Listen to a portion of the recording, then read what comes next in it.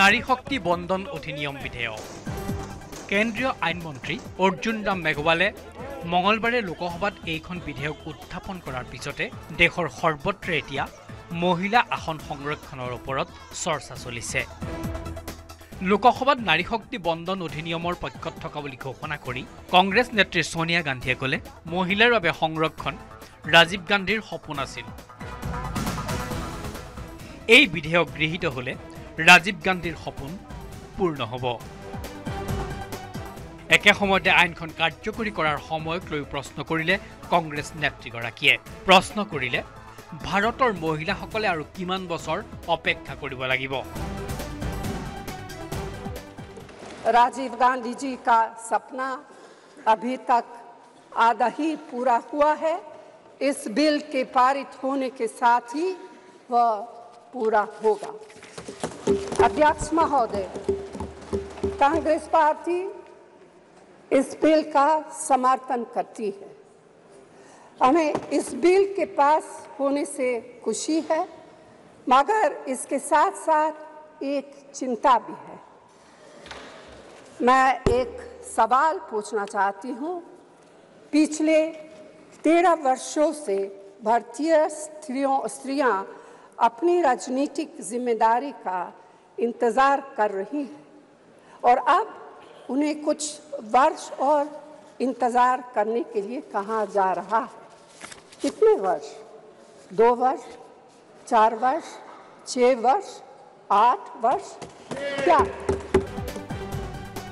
এইখন বিধেয়ক লোকসভাত উত্থাপন হোৱাৰ পিছতে প্ৰাক্তন প্ৰধানমন্ত্ৰী এইচ ডি দেৱেগৌড়াই ক'লে ঊনৈছশ ছয়ান্নব্বৈ চনত লোকসভাত মহিলা সংৰক্ষণ বিধেয়ক উত্থাপন কৰাৰ কথা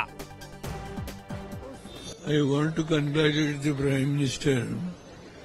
At least he has taken the decision yesterday in the cabinet, which was pending from 1996, where the UF government headed by me was taken this woman reservation in 1996.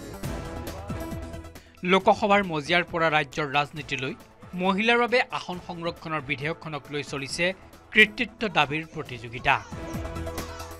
মহিলাৰ বাবে আসন সংৰক্ষণৰ ব্যৱস্থাক কংগ্ৰেছৰ প্ৰচেষ্টা বুলি দাবী কৰিলে কংগ্ৰেছ বিধায়ক ৰেকিবুদ্দিন আহমেদে। আমি মহিলাসকলৰ বিল পাছ হোৱাটো বিচাৰোঁ মহিলাসকলৰ সংৰক্ষণ হোৱাটো বিচাৰোঁ। Madam Soniaji Gandhi prime minister Manmohan Singh Narasimha Raoji Rajiv Gandhi সকলোৱে এই ক্ষেত্ৰত ইমান বছৰে যুদ্ধ কৰি আছিল। ভাৰতীয় জাতীয় কংগ্ৰেছৰ এইটো নিজা এটা হাৰ্ট আছিল আত্মা আছিল। হঠাৎ এখেতসকলে যোৱাকালি এনেকুৱা এটা প্ৰচাৰ আৰু প্ৰসাৰ কৰিবলৈ বিচাৰিছে যে এওঁলোকে এইটো কৰিছে। আৰু ভাৰতীয় জাতীয় কংগ্ৰেছৰ ইয়াত কোনো একো নাই। গতিকে এই কথাখিনি আপোনালোকৰ জৰিয়তে ক'বলৈ বিচাৰিছোঁ। নাৰী শক্তিৰ কথা ভাবিছিল। তেওঁলোকে ভাবিছিল যে ইমান বছৰ কিয় ৰৈ আছিল? ৰেকিবুদ্দিন আহমেদৰ মন্তব্যৰ বিপৰীতে বিজেপি বিধায়ক দিগন্ত কলিতা আৰু জিতু গোস্বামীয়ে ক'লে মহিলাৰ আসন সংৰক্ষণৰ বাবে কংগ্ৰেছৰ নাই সদিচ্ছা। বিধায়কখনৰ কাৰণে কংগ্ৰেছ দল বা কংগ্ৰেছ দলে ডেৰশ বছৰ এশ বিছ বছৰ ৰাজত্ব কৰা কৰা বুলি ক্লেইম কৰা দলটোৱে আজিলৈকে ৰাজ্য লোকসভাত আনিব নোৱাৰিলে। কালি প্ৰধানমন্ত্ৰী মোদী ডাঙৰীয়াই প্ৰথম নতুন লোকসভা সাংসদত তেখেতে প্ৰৱেশ কৰিয়ে এখন ঐতিহাসিক বিল আমাৰ আই মাতৃসকলৰ কাৰণে কালি উত্থাপন কৰিছে। প্ৰয়োজনত আসন এৰাৰ প্ৰতিশ্ৰুতি দি জিতু গোস্বামীয়ে ক'লে মহিলাৰ বাবে পঞ্চাছ শতাংশ আসন সংৰক্ষণ হ'ব লাগে। ইয়াতকৈ এখন গুৰুত্ব সহকাৰ বিল হ'ব নোৱাৰে। আৰু প্ৰধানমন্ত্ৰী নৰেন্দ্ৰ মোদীজীৰ মহিলা প্ৰীতি নাৰী সবলীকৰণৰ কাৰণে তেখেতৰ যি পদক্ষেপ এই পদক্ষেপ অকল ভাৰতবৰ্ষত নহয় বিশ্ববাসীয়েও আদৰণি জনাইছে। আজি বিশ্বক ভাৰতবৰ্ষক চাই আছে ভাৰতবৰ্ষক বিশ্বই।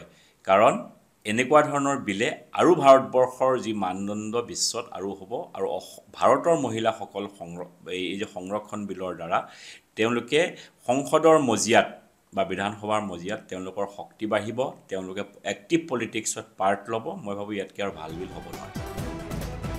বিপুল বৰ্মনৰ সহযোগত news desk report news eighteen Assam north east